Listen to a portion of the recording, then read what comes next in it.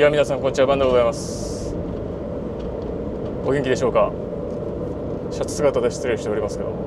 本当はねここに直帰を着ないといけないんですけどね人前に出るには、えー、直帰は直帰最近ベストって言うけどね直帰は略式ジャケットと同じ扱いなので水揃いを買っておくと便利だよ。とかなんとか言いながらですね。今日はね友達の結婚式に向かっておりましてえー、今日は6月の多分8日ですね。久々の雨だね。まだ梅雨入りはしてないらしいんだけど6月はあの雨が多いのにジューンブライドっていいって言うじゃんっていうのはですねあの結婚式業界があまりにも6月に、まあ、日八に加えて6月日八2月8月ねに加えて6月もお客さんがドーンと減るもんだからそこに向けてなんとかならんか、まあ、梅雨だからね普通に考えて、えー、なんとかならんかっていうので編み出したどっかのよその国からあの引っ張り出してきた無理やりマナー講師みたいなそういう感じの常識でありますよくあることですね。ブライダル業界あるあるですよ。私あの昔ブライダル業界でカメラマンしていた時期がありまして、えー、食わしてもらった業界についてありがとうございます。ですねやっぱねブライダル業界と医学界撮り含むイベント撮り業界には非常にお世話になりまして、えー、今日はですね YouTube このチャンネルを見てくれている方は特に写真をお仕事にしている方ではないでしょう。ということでお友達が特に若い人だね結婚式が多くなってくるのは。あのちなみに若い人たちにあのまた悪魔のように入れ知恵をするとですねご祝儀の額って結婚式披露宴に出席すると3万円ってインターネットで検索すると3万円が常識になってるじゃない。あれバブルの頃に作ったらしいんだよ。だから今の若い子たちがご祝儀3万円っていうのは月にさ2人結婚する同僚が出たらもう死ぬよね。だいぶ辛いよね。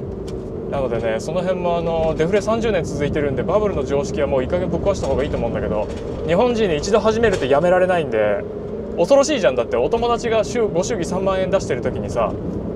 自分だけ2万円とか1万円とかだったらおってなりそうでうわ怖いってなっちゃうのでそもそもご祝儀っていう文化自体がねまあこうアジア感が強いんであれなんだけどもそれとねこうブライダルっていうその何ていうの、まあ、基本的に西側のものやるじゃないですか。西側そのもろアメリカでもなければもろイギリスでもないなんか独特のブライダル文化をゼクシーと一緒に作った感じがあるんだけどその辺りがあるんでですね若い子はごまごまあまり夢がなくなることを言うとあれだね、えー、ちなみにあの片言で喋る神父さんは裏では流暢な日本語喋ったりするけどね。あじゃあ神父さんじゃないねあれでも神父さんって言うとバチカンからちょまあいいやつですよね、えー、そんな感じでございまして写真を撮りに行く時にまず二手に最初に2つに分かるんですよいきなり。あの依頼されているかただ友達として参加するかで友達として参加する場合は本当に好きにやればいいと思います。ただお友達として参加しているにもかかわらずあのごついカメラを持っていくと式場の人正確には式場に、えー、保証金とかを払って入っている。例えばホテルとかだと結婚式を披露宴をややるよくやるホテル下手するとホテルにチャペルとかついてるじゃない。そういうホテルだと,、えー、っと中に写真室っていう形で写真会社がですねお金を払ってそこにテナントを構えてるわけですよ。でまあ大体あるよね。でそこの人たちがあのホテル側に対して運営してる側に対してその俺らがお金払ってお宅で商売してるのにカメラマンそんなプロのカメラマンを新郎新婦がお友達だっていうことにして入れちゃうっていうのが多々あって。俺ねそれについては正直ねあの外注というかあの藤野新婦が連れてくる外部のカメラマンね。いいとも悪いとも正直どっちとも思わない。どっちの言い分も分かるし、まあ、今俺やってないんだけどね。どっちの言い分も分かるからまあまあねそそちら同士で喧嘩をそっちでやってくれかんっていう感じなんだけどただ単に写真を撮るに関してはあの何、ー、て言うの？お友達として呼ばれていってるにもかかわらずちょっとカメラがごついもんだからあのー、止められちゃうことがあるっていうね。まあそれが事前に分かればいいんだけど当日になって現地行ってから「あなたそんなごっついカメラは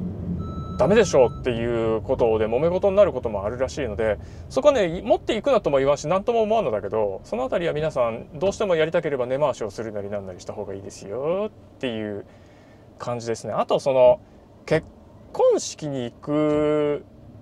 格好とカメラって合わないんだよね。ファッションとして合わないよね。昔々ねブライダルカメラマンやってた頃になんかブログとか見るじゃないですか。同業というかねその先輩方の。そしたらねあのブライダルカメラマンやってる人のブログであの参列者の女性でハッセル持ってきる 500cm かなんかかな？持ってきてる人がいて素敵だったわっていうブログがあってね。それは印象残ってるの。ってドレスにドレスってね新婦友達の控えめな感じではあるんだけどドレスにハッスルって確かにかっこいいなと思ったんだけど。ただまあ新郎新婦主役っていうか新婦主役の場だからみんなが目立ってもしょうがないわけですよ。基本的にあのこれ見てるの野郎だと思って話しかけてるけどね。そう。なのでまあおとなしくしとけばなのであまりでかいガンダムみたいなサイコガンダムみたいになったカメラとか持っててもしゃあないと思うんで。その辺りもあるのでまあおとなしめでいきましょうがお友達で参加する時はレンズのごつさとかね。白い長いなんか小鳥を撮るようなレンズとか持ってっても引くと思うんで周りの人が。っていうのとあとね焦点距離も大事なんだけどあのちょうどねあの鳥さんついでに飛行機撮りの人たちもそのカメラ趣味だったりするでしょ？だからカメラ持って行ってたまには人間撮るぜイエーイみたいな友達のね晴れの姿だったりすると。てかまあ人間撮りたいじゃないですか基本的には。撮ってみたいでしょ大体がね。だと思うので。俺のとこのワークショップとか設定するのでやっぱり人間を撮ってみたい人間って言って人聞き悪いんだけど人体ってね顔だけでも人体皮膚出てるじゃないですか。すごい特殊な被写体なんでやっぱ撮りたい気持ちはよくわかるんですよ。講師としてはねよくわかるんで。そこはあの撮らせてやりたいという気持ちと節度を持ちましょうっていうのバランスがこっちも難しいなと思うとこなんだけど。まあね結婚式友達の結婚式でまあ撮るじゃないですか。で撮るにあたってカメラ装備的にはねあの焦点距離よりも明るさ重視の方が俺的にはあのおすすめです。あのそうバカでかい結婚式披露宴でもない限りあの大体まあ式の時はあんまり動けないし参列してるお友達っていうのは移動の自由がなかったりするんですよ、まあ、中世のようですね。中世日本のようですけども。移動のあんまりガチャガチャ動かれて式ねぶっ壊されてもあれだっていう会場側の意向があるんでまあしょうがないなと思うんだけど。移動の自由がなくて席から動くなっていう場合が多いのでこれ場合が多いであってね結構ね制約がない場合もあるから分かんないけどね。が多いのでまあねお友達で来ててそんなガチャガチャわたわたやるのもうダメだと思うんで基本的にセレモニーのことを考える神父のことを考えると基本的にはやっぱり席式の話ね。式の時はお席からお席についてその場から取りましょうってことになると思うんだけどそうは言ってもさ例えばなんだろう何十人かしか大体チャベルって入んないと思うしその何十人かしかキャパシティがないところでさ 200mmF2 とか多分いらないと思うんだよね。その神父の毛穴まで撮りたいとかさ参列している位置から指輪交換で手元アップをトリミングなしで切り抜きたいとかっていうのになると超特殊装備だけどそんなのもう業者に任しときゃいいからあの皆さんはどちらかというとですねあの肉眼で見ることを優先してあの写真はもうパチパチでいいっすよぐらいの感じだね。俺からするとね。だと思うんでで披露宴に行っても基本的には暗いんですよ。大体だけどね。大体が暗いのであの明るさ重視でレンズを選んでいった方がどちらかというと幸せになれるというか現地で辛い思いをしなくていいかなっていうふうに思いますね。絞らなきゃいけないとかっていうので明るさの戦いというか暗さの戦いになってくるので、まあ、例えばクリップオン足したり好感度なんとかごまかしたりするわけですけどそういうのはもう業者に任せちゃいいじゃん別に。と思うので、えー、そんな感じですね。なので業者として会場に入る場合はまず許可を新郎新婦に許可取ってもらいましょうからスタートだよね。であの写真室として入ってる場合はそこの先輩がねっちり教えてくれると思うんで、えー、そこはその先輩がそこのね会社の流儀っていうのが絶対あるからあの営業写真会社ほどよくわかんないんだけど営業と商業の最大の違いで面白いなと思うのは営業写真はそのなんていうの大富豪の地方ルールみたいにその写真会社の細かいルール俺が言う謎ルールの部分も結構多いんだけどそのこうちはこういうやり方でやってるんでっていうのがむやみやたらと細かく決まってる場合が多いのよ。でそこを軸足にして外部のカメラマンはこれだけはダメなんだよって一生懸命書いてるブログとか見るんだけどその一歩世間に出てしまうと結構どうでもいいことが多いのね。だからそれもあって営業写真疲れたところはあるんだけどなんかねあのー、本当はねお客さんが喜ぶかどうかなんだけどお客さんも必ずしも写真を見たり使ったりするプロの人ではないので写真会社の側が価値観を確立していこうっていう危害は分からんでもないんだけど写真会社に入社するとかバイトで入るとかっていう子は若い子たちについてはどっちかというとそれの勉強が大変なところがあるなというのを見てて思います。なのでカメラの中のことっていうのは絞り感度シャッタースピードとファクターとして分けていくと俺講師が仕事だからさその写真撮影の難易度っていうのをファクターとして分けていくとそのカメラ内の操作っていうのは別に別に原理としては難しくないし体感として覚えていくのも特に今デジタルの時代だから外に出て大量に撮ってればすぐ覚えちゃうわけですよ。でカメラの中が難しいんじゃなくてそこにねストロボがくっつくとちょっと難しいでストロボがあんまり使われなくなってきているというかあんまり重視されなくなってきている現代ですけどブライダルみたいに高機動力でなきゃいけないカメラマンがカメラ2台持ってガッチャガッチャあちこち移動して撮らなきゃいけないでしょ？そういう撮影の場合は LED だと光量が足りないし電源が足りないんですよ。なので要はその単三電池4本とかで駆動する光量スチール写真を撮るための光量としてはストロボの方が何十倍も強いのでまだまだ。だからそれを考えるとやっぱりクリップオン使わない使わざるを得ないんだけどクリップオンをその定常光に混ぜて使うっていうのでファクターがそのそ、まあ、要はねその定常光で撮るのにストロボっていうのが瞬間光っていうのが加わると難易度がギャンと上がるんですよ。でプロアマの営業写真のプロアマの協会っていうのは特にイベント系の撮影ではそこに依存しているところが全てとは全然言わないんだよね。その構図技術とかカメラの設定を割り出す技術っていうのも現場で即時判断しなきゃいけないからミラーレスの時代になっても設定意外と出ないんだよね。っていうのはあるのであのなんていうの電動工具がどれだけ発達したってさ俺はタイヤ交換一つできないからね。それに近いところがおそらくあるんだと思う。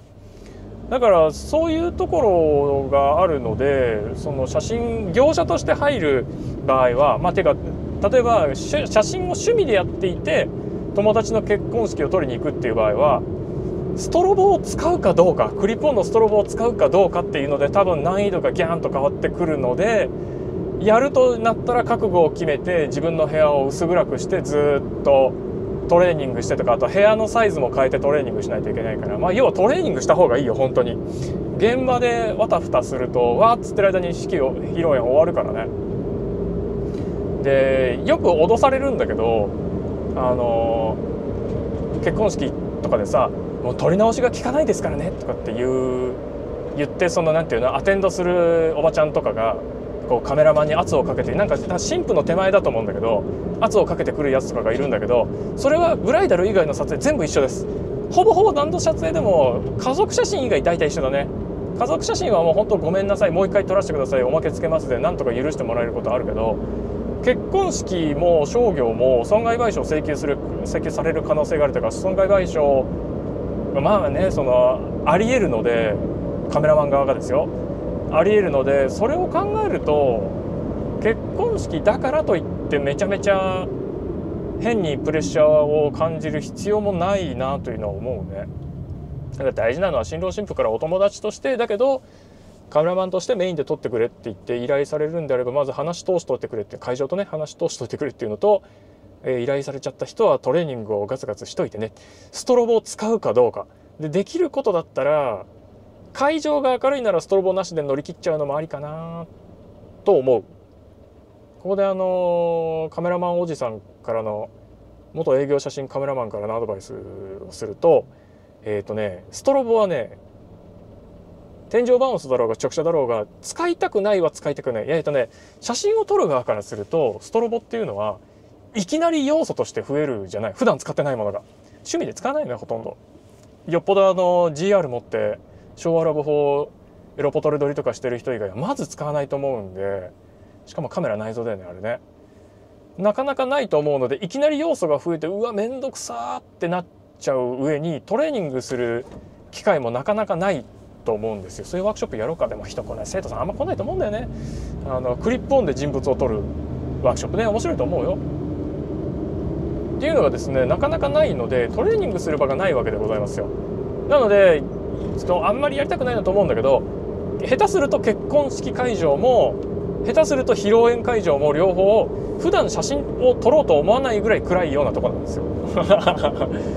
ようなところなので感度バリ上げになって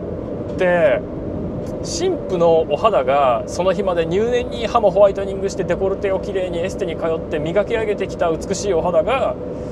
高感度で撮って今のカメラが良くなったとはいえ高感度でいいのか。であれば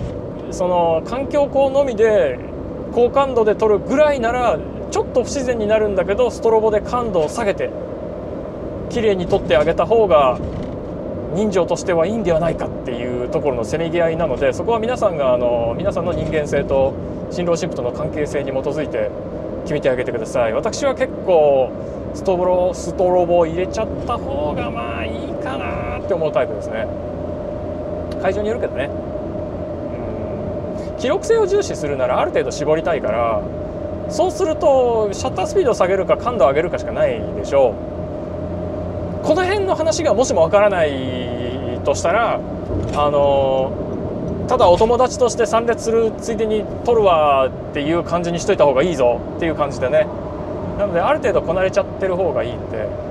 えー、え簡単にさ友達がカメラマンやってる趣味でやってるならもう外注のカメラマン断ってお前に撮ってもらいたいんだけどってもしも言ってきた時に撮れる自分であるかっていうチェックポイントやろうか。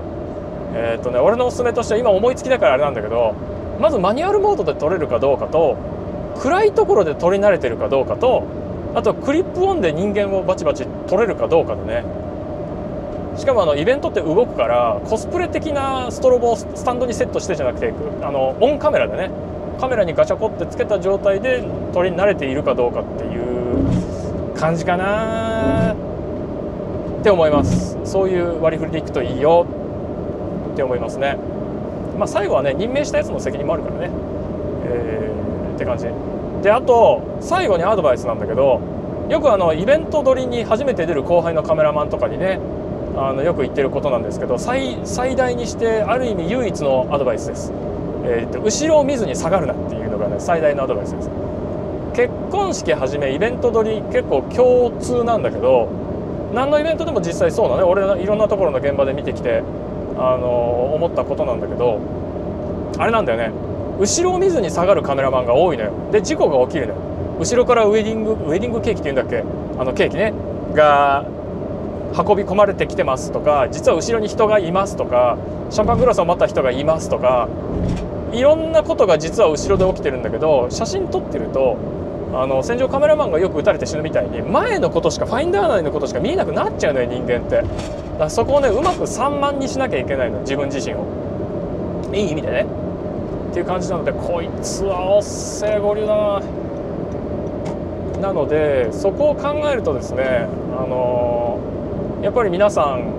後ろに下がる時は絶対に後ろを確認してから下がってください。これがアドバイスです。まあ要は式を式なりセレモニーなりイベントなりをぶっ壊さないようにする。そういうその何て言うの？まあ大事なのはね主役で特に結婚式なんてお嫁さんが主役なのでお嫁さんになんかこういい気持ちになってもらうというか最低限ぶっ壊したくないでしょ？ってなるとあのケーキぶっ壊したりとか新婦のお嫁さんの足踏んでギャーとかなって泣かれたりとかしても大変なことになるので、えー、あなたがダメージを与えないようにって考えると後ろを見ずに下がるなっていうのが一番のアドバイスだと私は思っています。そんな感じで、えー、写真を勉強する側からすると辛い環境に行ってわあ撮れないみたいなのが一番勉強になるのよ。ただねそれでも行ってこいっつってあのメインカメラマンとしていきなり送り込んで撮れませんでしたではやっぱり問題があるのでその辺りのバランスですね、えー、でございます。皆さんの健闘を祈りますよ。